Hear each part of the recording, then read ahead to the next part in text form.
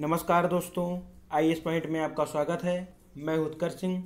आज हम बात करने वाले हैं निजी कोचिंग की अवधारणा पर। सबसे पहले बात करते हैं कि चर्चा में क्यों है। राष्ट्रीय सांख्यिकीय संगठन, एनएसओ, की रिपोर्ट के अनुसार भारत में पाँच में से एक छात्र निजी कोचिंग के साथ स्कूली शिक्षा को पूर्ण करता है। जून 2017 और जुलाई 2018 के बीच आयोजित राष्ट्रीय नमूना सर्वेक्षण के पचहत्तरवें दौर में परिवारों द्वारा शिक्षा से संबंधित उपभोग पर खर्च को लेकर सर्वेक्षण किया गया था। अब चर्चा करते हैं रिपोर्ट के प्रमुख बिंदुओं पर। पूर्व प्राथमिक और उसके ऊपर के स्तर पर लगभग 20 परसेंट छात्र छात्राएँ 21 परसेंट छात्र और 19 परसेंट छात्राएँ निजी कोचिंग ले रहे थे। माध्यमिक स्तर पर निजी कोचिंग लेने वालों की संख्या अधिकतम छात्रों का 31 परसेंट और छात्राओं का 29 परसेंट था। निजी कोचिंग की फ़ीस माध्यमिक और उच्चतर माध्यमिक विद्यालय में शिक्षा की कुल लागत का लगभग 20 परसेंट है। रिपोर्ट के अनुसार, पश्चिम बंगाल जैसे राज्य में छात्र छात्राएँ वास्तव में अपने नियमित स्कूल की तुलना में निजी कोचिंग पर अधिक खर्च करते हैं। अब आगे बात करते हैं निजी कोचिंग से संबंधित प्रमुख मुद्दों पर। स्कूली शिक्षा के साथ निजी कोचिंग शिक्षा पर लागत में वृद्धि कर देती है।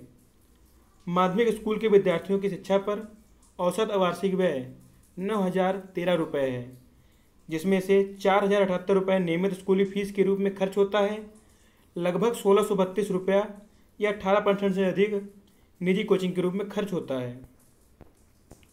निजी कोचिंग में ग्रामीण, शहरी तथा सामाजिक आर्थिक स्तर पर अंतर देखने को मिलता है।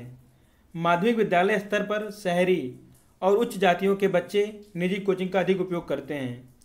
अनुसूचित जनजाति समुदायों में सिर्फ़ तेरह दशमलव सात प्रतिशत ग्रामीण लड़के और लड़कियों की तुलना में शहरी उच्च जाति के बावन परसेंट से अधिक बच्चे निजी कोचिंग लेते हैं। छात्रों को पहले से ही स्कूल से प्रत्येक विषय के लिए होमवर्क मिल जाता है और अगर उन्हें कोचिंग कक्षाओं से भी होमवर्क मिलता है तो उन्हें अतिरिक्त होमवर्क के कारण बोझ महसूस करते हैं।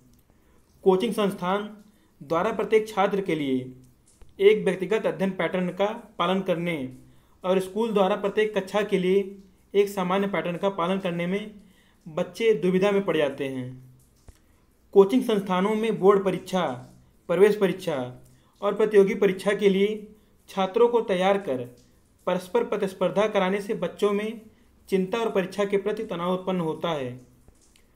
कोचिंग संस्थान में विभिन्न स्कूलों या शिक्षा बोर्ड्स के बच्चे सम्मिलित होते हैं।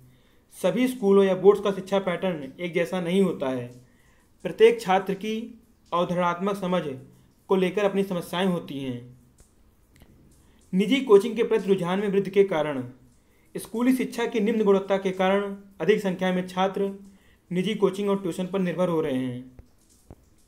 माता पिता द्वारा विशेषकर ग्रामीण क्षेत्रों में अपनी सहायक शिक्षक की भूमिका को विभिन्न कारणों से नहीं निभा पाने के कारण वे अपने बच्चों को निजी कोचिंग ट्यूशन पर भेजना प्रारंभ कर देते हैं। सूचना केंद्रित पाठ्यक्रम और रटने की प्रवृत्ति निजी कोचिंग को बढ़ावा देने वाले प्रमुख कारण हैं।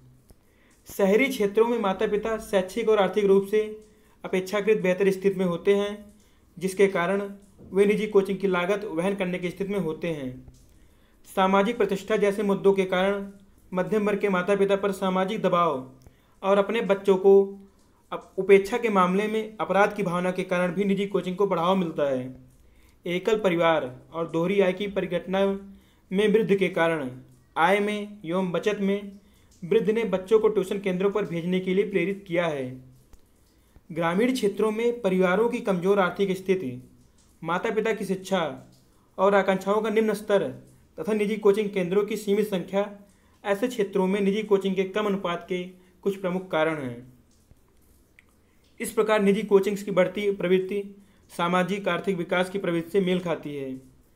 केवल केरल, जहाँ ग्रामीण और शहरी क्षेत्र सामाजिक विकास के समान स्तर पर हैं, वहाँ निजी कोचिंग प्राप्त करने में कोई भौगोलिक असमानता नहीं दिखाई देती है। अब बात करते हैं नई शिक्षा नीति एवं निजी कोचिंग्स पर। कोचिंग संस्कृत को प्रोत्साहन करने के बजाय नियमित रूप से मूल्यांकन पर ध्यान केंद्रित कर राष्ट्रीय शिक्षा नीति 2020 स्कूली बच्चों को निजी ट्यूशन और कोचिंग कक्षाओं से दूर रखना चाहती है। नई शिक्षा नीति में सीबीएसई बोर्ड परीक्षाओं को और अधिक लचीला बनाने का प्रावधान किया गया है, जो एक बच्चे की आधारभूत क्षमताओं और दक्षताओं का परीक्षण करेगी। अगर नई शिक्षा नीति को ठीक से क्रियान्वयन किया हो जाता है तो केवल वे ही संस्थान सफल होंगे, जो अपने शिक्षकों को नए पाठ्यक्रमों और दृष्टिकोण में प्रशिक्षित करेंगे। अभी अधिकतर कोचिंग संस्थान विज्ञान और गणित तथा परीक्षा में अंक वृद्धि पर ही अधिक केंद्रित हैं। अब चर्चा करते हैं आगे की राह पर। कोचिंग संस्थानों की कार्य प्रणाली को नियंत्रित करने हेतु कोचिंग संस्थानों के संचालन के लिए न्यूनतम मानक प्रदान करने वाले नियमों, योजनाओं को लागू करने, सरकार को विनियमन पर ज़ोर देने की आवश्यकता है। वर्तमान में कोचिंग उद्योग एक बहुत वृद्धि कर चुका है और स्कूल शिक्षा प्रणाली के लिए चुनौती बन चुका है। अगर वीडियो से कुछ भी जानकारी मिले तो वीडियो को लाइक कीजिए दोस्तों में शेयर कीजिए और चैनल को सब्सक्राइब कीजिए। धन्यवाद।